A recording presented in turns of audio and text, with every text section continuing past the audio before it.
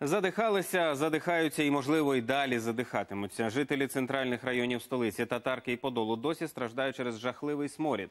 Причина у Довгобуді на одній з дільниць міського колектора. Завершення робіт із року в рік затягують. Цього разу здати об'єкт обіцяють до кінця 2017-го, але гарантій немає. Чому? Дивіться. Уже кілька років жахливий запах не дає їм спокійно жити. Хоч у протигазах ходи скаржаться місцеві жителі. Когда ветер дует э, в нашу сторону, вот тогда окна открываем, потому что надо же проветривать. Но если долго дышать, то, конечно, это ужасно.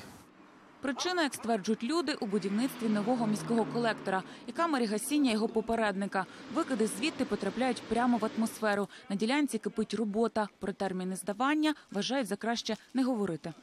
Столы засыпать. И все. Все вопроси к водоканалу. Здесь дирекція водоканала. Уже один відрізок зданий, кажуть замовники будівництва Київводоканал. На початку листопада закінчать наступний. Перша черга закінчена. Зараз от якраз ми чекаємо за участю мера відкриття другої черги, а всі роботи до кінця року. Зводити цей колектор почали у далекому 94-му. Завершити планували до Євро 2012. Однак через відсутність фінансування після футбольного чемпіонату будівництво завмерло. Лише два роки тому роботи відновили. Можливо, причина смороду в технологічних порушеннях, припускають мешканці, або корупційній складовій. У столичній прокуратурі кажуть, готові це перевірити, але передусім за людей повинна заступитися влада. Якщо в заявах будуть міститися е, ознаки кримінального правопорушення, то е, прокурор е, внесе відповідні відомості до єдиного реєстру досудових розслідувань. Якщо ж буде йтися про порушення екологічних норм або з інших питань, відповідно прокуратура буде скеровані ці звернення до компетентних органів. Проблема лежить у площині контролюючих органів, які мають виїхати на місце, зафіксувати ці порушення.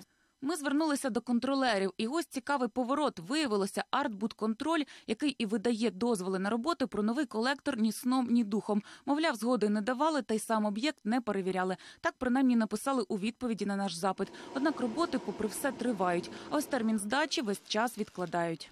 Денег нет. Денег на что?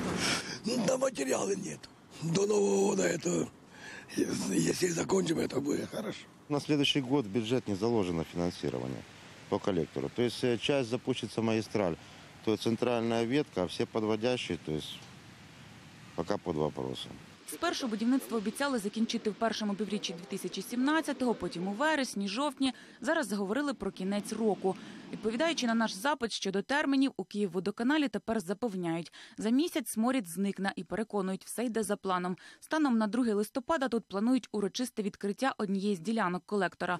Чи буде воно, чи це чергова обіцянка, ми обов'язково перевіримо. Олександра Мухіна, Дмитро Шилін. Новини, телеканал Інтер.